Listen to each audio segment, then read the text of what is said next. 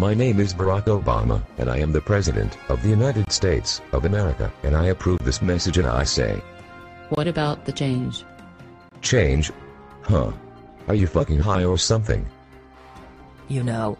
The change we can believe in. Change? Change? What's all this change you people keep talking about? Things are just fine the way they are. You know, Mr. President. Just like you said before. The change we all need. Change? Change? I don't need no stinking fucking change. I spit on your change. Fuck you all and have a good day. I'm not going anywhere. I proclaim myself a god.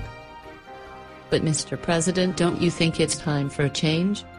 Fuck off and leave the government and politics to the big boys. Go out get pregnant, or bake some bread or something damn bitches hoes. What do you know anyways?